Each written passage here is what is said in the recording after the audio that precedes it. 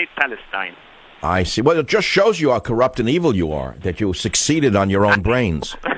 no, it just, doesn't it prove that your little college min, uh, uh, min, mini men were correct? I mean, look how evil you are. You've done well and they haven't. That's right. That's right. They they. It, it just proves that they're right. Anyone who does well is a threat to these little these little people. That's correct. These these mini these mini men. They're jealous, small minded, very very dangerous people. Hillary Clinton embodies them to the nth degree. And I don't understand one part of this. Well, I do. Why do zillionaires in Hollywood support this kind of socialist fascism? Men who are worth billions, who live on 400 foot yachts, floating around in the Mediterranean, avoiding taxes. Why do these men, who I don't have to name, why do they support a Democrat socialist regime? Well, I'll give you a simple answer. Because when you have centralized power and they have friends in that government, they will not be taxed properly. They can get away with uh, evading taxes. Their industries get favoritism from the government. What do they care about the country itself? See, that's how that works. You see, it explains to you finally why billionaires in Hollywood and elsewhere support the Democrat socialist Islamist machine. At least that's one man's opinion. Well, I have to take a break, but before I do, I must tell you I'm salivating because I'm eating one hour too late today. I normally eat during a show, which is not a good thing. I have the most delicious uh, tuna sandwich. It's not a chopped tuna sandwich with mayonnaise. I ordered something new that I didn't even know they had in a hamburger place. It's a tuna sandwich of a real tuna. I love it. It's like a hippie tuna. Line caught, special this, organic salad that. I can't wait. I'm dying. I'll be back. Join the Savage Nation. Call now 855 400 Savage. 855 400 7282. Savage. Your Savage Nation is sponsored by SwissAmerica.com. It's the only company I trust for tangible assets, gold and silver. Call 800 B U I C O I N. It is the Savage Nation in between giving you lessons on socialism, Marxism, communism, capitalism Obamaism, uh, global warming fantasies. I just ate lunch. It's amazing what radio does. It teaches you to compress time. In a three or four minute, five minute break, wow. It's terrible for my health. And I'm sure it's going to kill me one day, but it hasn't yet. In fact, I'm starting to think the opposite is true. I think that stress is probably better for me than no stress. And competition is better for me than no competition which is why I am not a socialist. I've, I've not always been a winner. There were many, many years that I slogged through the mire of competition and didn't win. I was in the wrong field for getting ahead, and especially since the uh, playing field had been uh, distorted by the socialists, who made certain that minorities with far less uh, brains and uh, qualifications were given what I was supposed to be given. They stole my birthright, so I was in the wrong place at the wrong time for the socialist communist march. But as a result, they pushed me into a place where I belong, which is the most competitive world, world for a man of the mind, which is radio. This is the most competitive field in the world that you can imagine. I have to talk about it actually, because you don't understand. If you're just a listener, you know, you listen to enjoy it or whatever. What are we really doing on radio? We're taking our ideas making them as succinct as possible verbally. We have no makeup, no legs, no lipstick, no flashing lights, no $13 million stage sets. I have no writers. So we take our ideas and we present them to you. And if we do a good enough job, you listen. We do a very good job, you listen longer. And then as time goes on, you listen for years. That's how it works. Some of us write books, and the books do well. It's the most competitive world for a person who thinks. And why am I telling you this? Because think about this. Who wants to eliminate talk radio? Sidney Blumenthal's moron son, Max. Hillary Clinton is on record wanting to uh, put in the so called fairness doctrine to make sure that men like me cannot compete. Do you understand why they want us not to compete? Why do people, losers on, on PBS, why would losers on PBS who can't get a real job in the competitive marketplace of real radio. Why the losers on PBS want the fairness doctrine? Because then only the government media complex positions will be allowed to be expressed. Now, I got to ask you, idiot leftists, as smart as you think you are, Do you really want to live in a world where there's only one worldview, one national view? Is that the world you want to live in with no opposition, no thought, no competition in ideas? Because that's what you're going to get if you elect Hillary Clinton. You might get it if you elect a Republican as well. Some of them are very liberal. I can name the Republicans who tried to impose the fairness doctrine a few years ago. Trent Lott was one of them. Remember that name? So don't assume that because it has an R next to its name, it's not uh, a part of the same machine it is. Anyway, side note. Side note, what would you like to talk about? I have great callers, many topics. Let's go to the middle of the country, KCMO. Bob on KCMO Radio. Welcome to the Savage Nation. Thank you, Dr. Savage, for succinctly and accurately defining socialism, or rather, uh, um, fascism. I live in a uh, college town, and I've had this argument for years. Fascism is simply a uh, government's power over you. It can be on the left, it can be on the right. I've even taken to carrying around an old dictionary with me because back in the 50s it was properly defined, but apparently our new dictionaries speak new speak because they are even beginning to call it. Yes, but let's let's cut to the chase. Who is it on the college campuses who are the new fascists? The professors. Are they all fascistic, or is it all coming from one so-called community? Well, that's a, a leading question. I was trying to be nice, but let's say many of them are in the humanities and not in uh, uh, things like engineering mm-hmm. that I study. And aren't many of them in feminist studies and gender studies? Absolutely. And by the way, Are, aren't some of the worst fascists on American college campuses experts in gender studies and feminist studies? And why is that? Absolutely. Why is it? Why is it that they're experts on gender studies and they have no idea about the damage they're doing to the world, nor do they care? Why?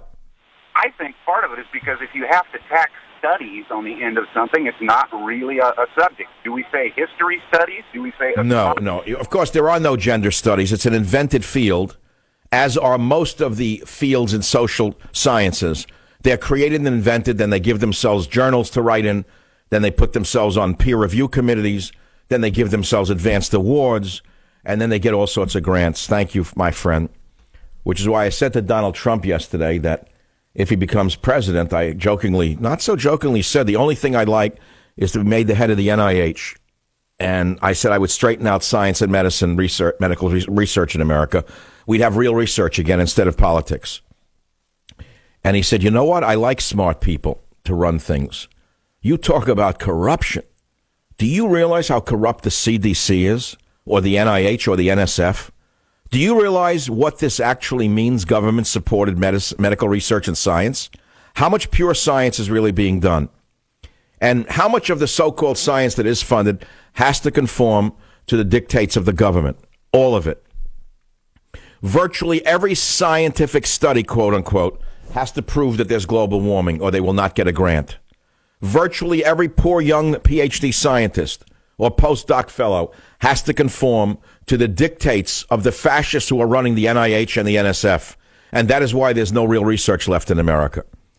Just as business is faltering, so is science, so is medicine. Advances in medical research, how many have there been in America recently? Why? Because it's been crippled by a gigantic socialist, fascistic bureaucracy. Same exact rules apply. When America was free, we had the greatest scientists in the world when America was totally free, we had the greatest medical scientists in the world. Now you understand the connection? I realize I'm just painting a broad picture. I realize that offends so many people with nuance in America. They like nuance.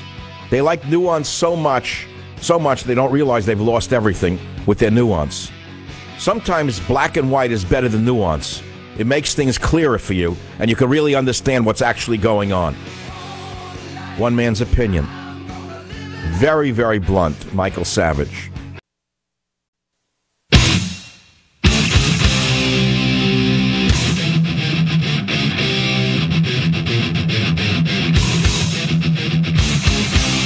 Warning The Savage Nation contains adult language, adult content, psychological nudity. Listener discretion is advised.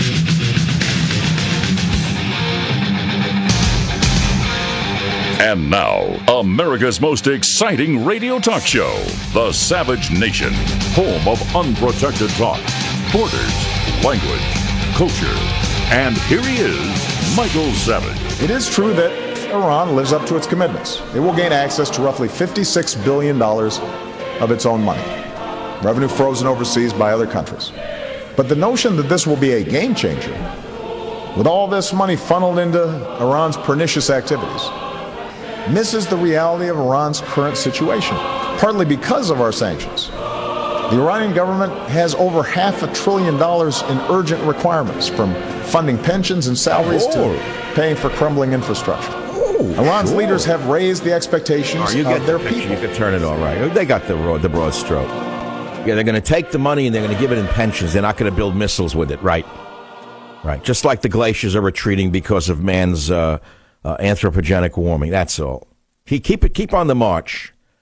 The low IQ president, very mean, very effective, but very, very low IQ, who uh, doesn't he doesn't know what he's talking about. I guess he's aiming it at thugs in America who really don't know what he's talking about, but just like him, and they figure anything he says is correct.